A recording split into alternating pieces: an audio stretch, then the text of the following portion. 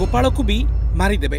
କିଏ କରୁଛି ପ୍ଲାନିଂ ଗୋପାଳକୁ ରାସ୍ତାରୁ ହଟାଇବା ପାଇଁ ପ୍ରସ୍ତୁତ ହେଉଛି କି ନୀଳ ନକ୍ସା? କାହିଁକି ଏମିତି କିଛି କହିଲେ ବିଧାୟକ ସାଲୁଜା? ନବଙ୍କ ମର୍ଡର ମିଷ୍ଟ୍ରି ଦିନକୁ ଦିନ ସରଗରମ ହେଉଛି ସିନା ଘଟଣା ଥମିବାର ନାଁ ଧରୁନି। ବିଧାନସଭା ଚାଲୁଥିବା ବେଳେ ଗୃହରେ ବି ନବଙ୍କ ଝଡ଼ ଦେଖିବାକୁ ମିଳିଛି। ଖାଲି ସେତିକି ନୁହେଁ ରାଜ୍ୟରେ ଖରାଦିନ ସିନା ଆସିନି କିନ୍ତୁ ନବଙ୍କ ମର୍ଡର ତାତି ସାରା ରାଜ୍ୟକୁ ବହୁଛି। ଏହାରି ଭିତରେ ବିଧାୟକ ସନ୍ତୋଷ ସିଂ ସାଲୁଜାଙ୍କ ବୟାନ ଅନେକ ଗୁରୁତ୍ୱପୂର୍ଣ୍ଣ। କାରଣ ଜେଲ୍ ଭିତରେ ଗୋବିନ୍ଦ ଆତ୍ମହତ୍ୟା ସିନା କରିଥିଲା କିନ୍ତୁ ବିରୋଧୀଙ୍କ ଅଭିଯୋଗ ଗୋବିନ୍ଦକୁ ହତ୍ୟା କରାଯାଇଛି। ଯାହାଫଳରେ ଗୋପାଳ ବି ସମାନ ଦୋଷା ଭୋଗିବ।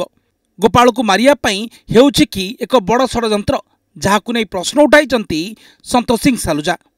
ଏଇଠି ମଧ୍ୟ ବି ଯେମିତି ଗୋବିନ୍ଦ ସାହୁକୁ ମାରି ଦିଆଗଲା କଣ୍ଟାମାଲି ଜେଲରେ ଏଇଠି ବି ଆମକୁ ସନ୍ଦେହ ଅଛି ଗୋପାଳ ଦାସକୁ ମଧ୍ୟ ହତ୍ୟା ହୋଇପାରେ।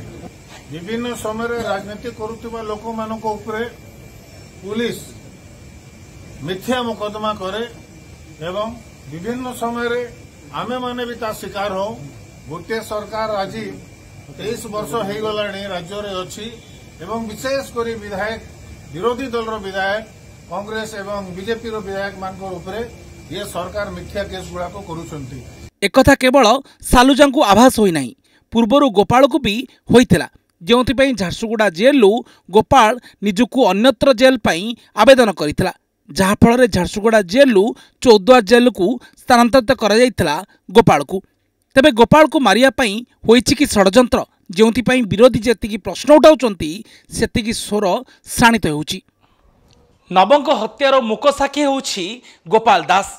ଯଦି ଗୋବିନ୍ଦ ପରି ଗୋପାଳ ସହିତ କିଛି ବି ଅଘଟଣା ଘଟୁଛି ତାହେଲେ ଅନେକ ଅସୁମାରୀ ପ୍ରଶ୍ନର ଉତ୍ତର ମିଳିବା ପରିବର୍ତ୍ତେ ଅନ୍ଧକାରକୁ ଠେଲି ହୋଇଯିବ।